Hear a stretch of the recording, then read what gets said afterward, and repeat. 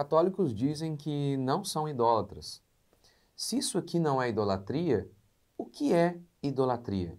Vamos falar sobre isso. Curta, comente, se inscreva. Bora para mais um vídeo. Então vamos lá, gente. A gente está vendo o que aqui nessa, nessa imagem? Tem uma imagem. Tem uma imagem ali de Nossa Senhora. O povo está fazendo o quê? Isso aqui não é prestar culto? Vamos lá, vamos começar aqui, ó. Eles disseram aqui assim, ó, não existe nada que não passe por ela. Ah, vamos lá. Em Êxodo capítulo 20, a escritura declara, não faça a imagem e não preste culto. Então a ideia de não fazer a imagem está associada com não prestar culto.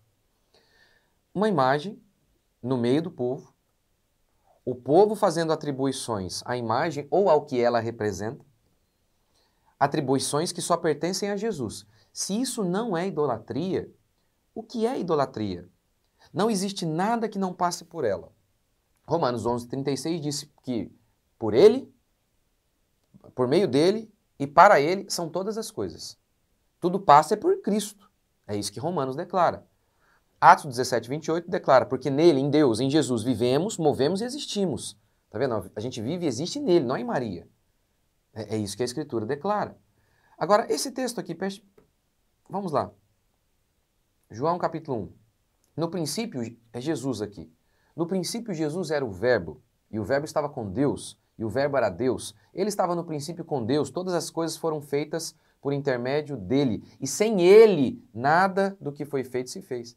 Na música, tudo que eu tenho vem dela, passa por ela. Não, o texto está dizendo aqui que tudo veio dele. Sem ele, tudo que existe não existiria. O texto, ou seja, eles nem assim, ó. No princípio era Maria. Todas as coisas foram feitas por intermédio dela. Sem ela, o que a gente seria? Né? Tudo o que eu tenho eu devo a ela. Eles também cantam ali na, na, na musiquinha.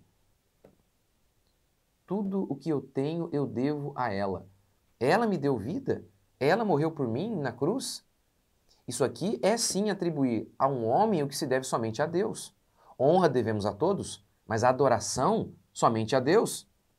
E atribuir a um homem o que só pertence a Deus é idolatria. Salmo 115, 1. Não a nós, Senhor, mas ao teu nome da glória, por amor da tua misericórdia. Deus disse: A minha glória eu não divido com ninguém. Se isso aqui não é idolatria, o que será? O que será? É interessante que, quando a Bíblia descreve Israel se perdendo, aquele momento em que Israel apostatou, se perdeu, isso tinha tudo a ver com idolatria. Sempre começava na idolatria. Fabricavam imagens, adoravam essas imagens, abandonavam o Senhor. E aí o texto fala então de um rei. Segundo Reis, capítulo 23, fala sobre Josias, num período de apostasia que era o quê? Marcado pela idolatria, pelo culto às imagens. Aí surge um rei, chamado Josias. Vamos ler. Aboliu também Josias os médiums, os feiticeiros, os ídolos do lar, aquelas imagens que eles tinham em casa, os ídolos e todas as abominações. Deus está dizendo que aquelas imagens eram abominações aquelas abominações que se viam na terra de Judá. Ok. Antes dele, de Josias, não houve rei que lhe fosse semelhante, que se convertesse ao Senhor. Olha que coisa, ele descreve que Josias foi abolindo aquelas imagens. Aí ele diz: ninguém havia se convertido a Deus como ele. E olha que coisa, no verso 4 desse mesmo texto, ele começa a purificar o templo. Então o rei ordenou ao sumo sacerdote Ilquias. Uh, ordenou o quê? Que aos guardas da porta retirassem do templo todos os utensílios que se tinham feitos a Baal, ao ídolo e aos exércitos dos céus, Jerusalém e por aí vai. Estava cheio de imagens dentro do templo. E antes que alguém fale, não, mas aqui era para Baal, aqui a, nossa, a gente é para Maria, para Pedro. É ídolo, é ídolo, do mesmo jeito. Tanto é que no templo não tinha nada. Podia falar só sobre a Arca da Aliança, mas aí ia ficar um pouquinho longo esse vídeo. Outra oportunidade a gente fala.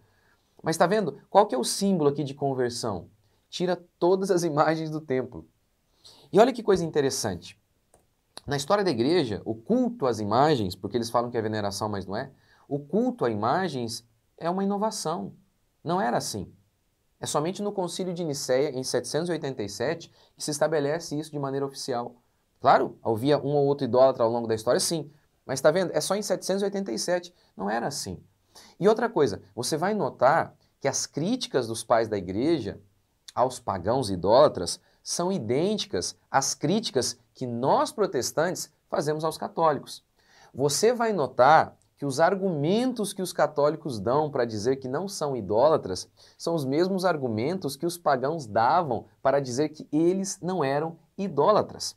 Por exemplo, veja o que Ambrósio, bispo de Milão, disse no século IV. Vamos lá.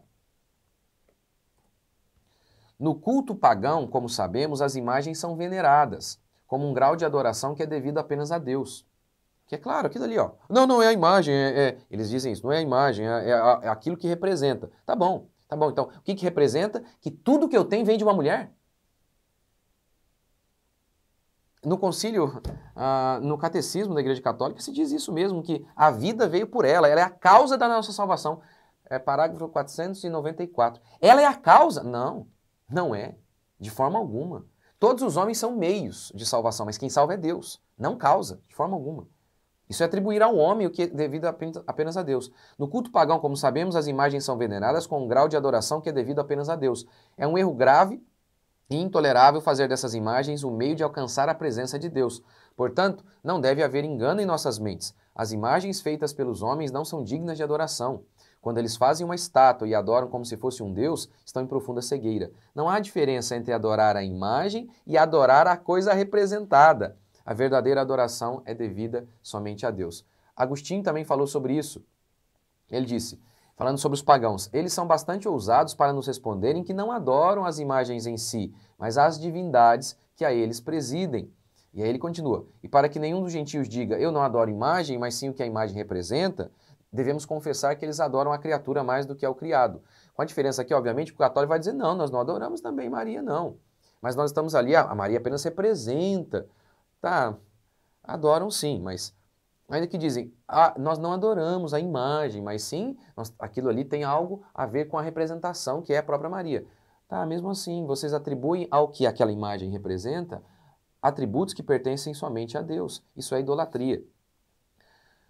Hum, no livro Inovações do Romanismo, na página 98, nós vemos uma citação importantíssima aqui também, para mostrar que a questão da, do culto às imagens é uma questão totalmente nova, totalmente nova. Né? Até o tempo de São Jerônimo, aqueles que professavam a verdadeira religião não consentiam imagens nas igrejas, nem pintadas nem esculpidas, nem mesmo ainda a pintura de Cristo. Olha que coisa, isso aqui é Erasmo que disse isso. Você vai notar isso. Gente, pense bem, o templo é, é o grande exemplo de, de, padrão de culto. Não tinha isso lá. Ah, cadê a aliança? Vou falar disso em outro vídeo. Estava no Santo dos Santos, que ninguém via. Não tinha como prestar culto, então eles não viam. Ficava no Santo dos Santos, ninguém entrava lá. Então, é, é uma inovação. Então, quando a gente vê isso aqui, não é o que acontece no mundo pagão? Não é? Claro que é. Então, isso aqui é sim uma inovação.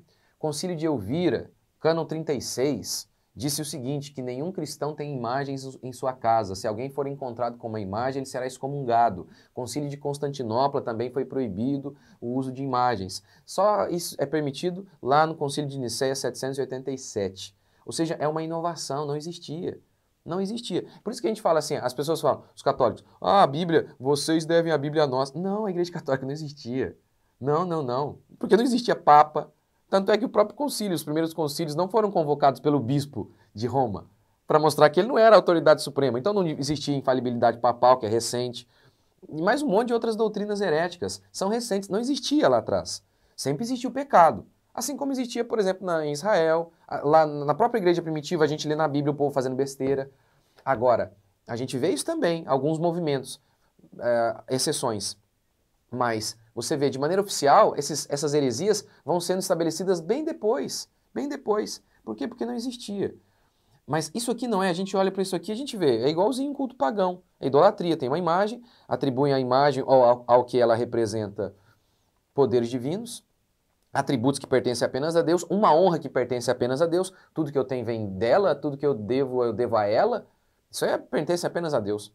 Mas Inácio, Inácio de Loyola, o fundador dos jesuítas, ele diz o seguinte: se os meus olhos virem preto, mas a Igreja Católica falar que é branco, então é branco. Eu estou vendo aqui a idolatria. Mas como a Igreja Católica faz lá umas, algumas distinções do lia, latria, por aí vai, Não, tem a veneração e tem a adoração. Simplesmente com o uso de palavras, a mágica acontece. Aí não há idolatria. Não, não, isso aqui é veneração. Só porque usou uma palavra, aí pronto. É como Inácio disse: se os meus olhos virem preto, isso aqui é idolatria.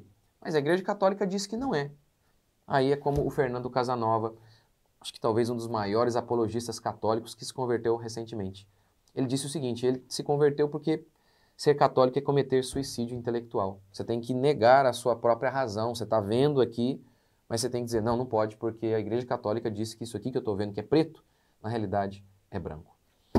Deixe seu comentário aqui. Deus abençoe. Até o próximo vídeo.